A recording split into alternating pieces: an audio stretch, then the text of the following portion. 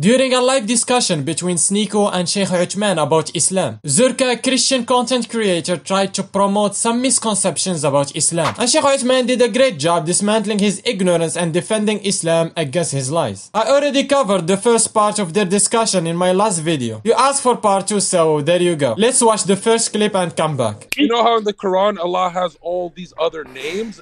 Why is one of the Yeah. names the deceiver? There is no name deceiver. Huh. what, what's the name in Arabic? Deceiver.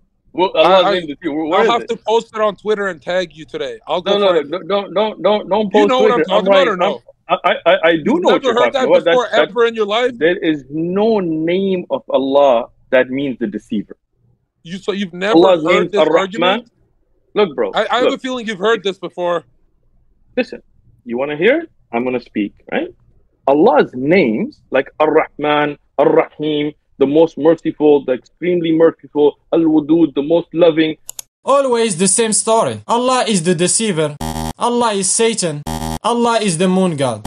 Astaghfirullah. Why Christian apologetics is so weak, it's embarrassing. Allah is not called the deceiver in the Quran. What this Christian is referring to is when Allah subhanahu wa ta'ala said in the Quran, And remember, O Muhammad, when those who disbelieved plotted against you to restrain you or kill you or evict you from Mecca, but they plan and Allah plans and Allah is the best of planners. No reputable translator ever translated the word makar in the Quran referring to Allah as deceiver. It only happens in the heads of Christian apologists. You can clearly see that whenever the word makar is mentioned in the Quran, it is never referring to Allah as deceiver. It's always translated as plotting and planning. We frequently hear the phrase God's plan, which in Arabic can be referred to as makar of Allah. This is a problem of language. Words in the Arabic language have a range of meanings depending on the person doing the action. What about the Bible now? This guy Zherka is a Christian who tried to defend the Bible. 1 King 22 verse 21 to 22. Finally a spirit came forward, stood before the Lord and said, I will entice him. By what means the Lord asked? I will go out and be a deceiving spirit in the mouths of all his prophets, he said. You will succeed in enticing him, said the Lord. Go and do it. So according to the Bible, God sent a lion spirit to deceive people. This is the definition of do not throw stones when you live in a glass house. Those are the names called Asma al-Husna. What you're referring to is a verse in the Quran that talks about makar. And this, the earliest scholars, the clear Quran's explanation explains the meaning here is plot. The kuffar, they made their plans and plotted, and Allah had His plans, and He is the best of planners. And that's why if you get any standard English translation, whether it's Sahih International, whether it's Pickthall, whether it's uh, you know, you can go to Mohsin Khan or uh, Mustafa Khattab or any of those, you will find that this verse here means to plan. You don't know Arabic, I'm assuming. You don't know the names of Allah, I'm assuming. You just heard some Islamophobe say something somewhere without any references, you're just trying to throw it out. Now, you believe that God ordered that if you beat a slave so bad that they just live a day, there is no punishment because that's their property. That's what you believe? I mean, it's in the Bible, right? So that, that's what you Like, believe, 100%, huh? Like in your Quran, it says the sun sets in a muddy puddle. You believe that, It right? does not. Once Oh, again, really? that's wrong.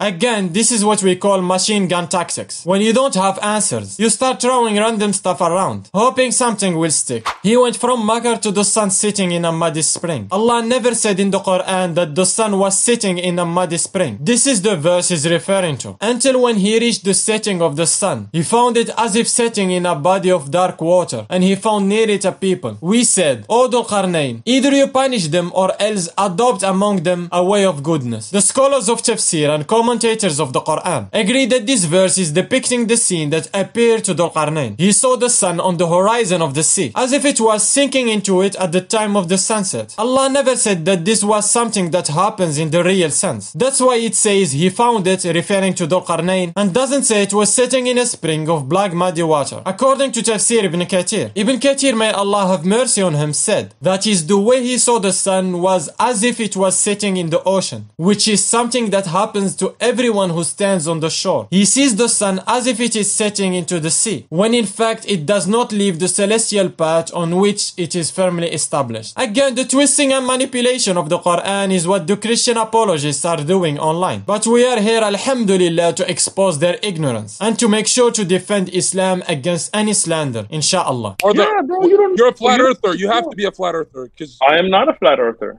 But it says the Earth is spread flat like a carpet.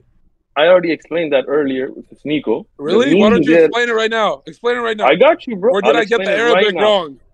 You did, but that's okay too. No, the right? Quran is correct. It is flat. Eh? It is flat. You want me to answer, bro, or no? Yeah, I want to know the flat one.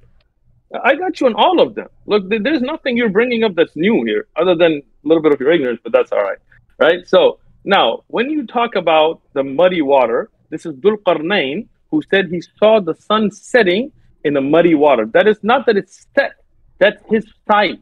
For example, if I go to the Pacific Ocean, like you're in LA, go outside and you see the sun setting into the ocean, it doesn't mean the sun goes in the ocean. That's describing what you see. Okay. All right, that's, the fair. first fair. misconception. That's fair. I appreciate your fairness. All right, good man. About the shape of the earth, the scholars unanimously agree that the earth is round. Ibn Hazm, may Allah have mercy on him, said, The proofs of the Quran and Sunnah indicate that the earth is round. The verse that Zherka is referring to is, Have we not made the earth a resting place?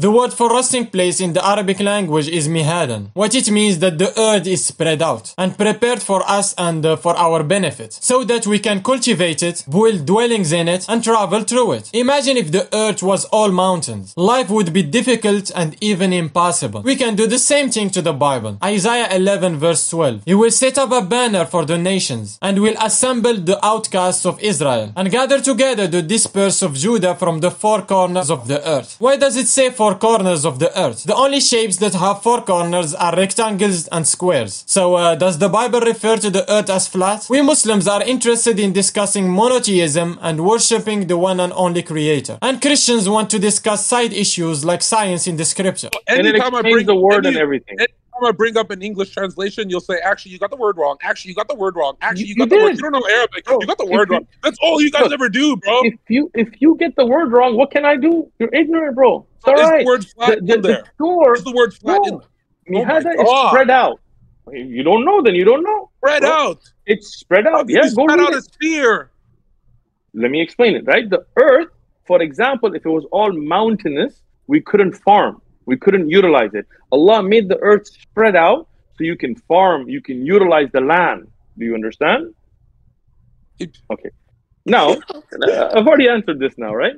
Now, doing great. let, uh, thank you. May Allah subhanahu wa ta'ala bless our Sheikh Uthman. He's doing incredible work sharing Islam and defending the religion of Allah. Please, I want everyone to go and subscribe to his YouTube channel, One Message Foundation, and to support his work. If you are interested in Islam, please read the Quran. And you can click the link in the description to claim your free copy of the Quran. You can watch this video of Sneako and Sheikh Uthman refuting the lies of Zherka about Islam. Don't forget to subscribe for daily uploads. Thank you for watching. Assalamu alaikum.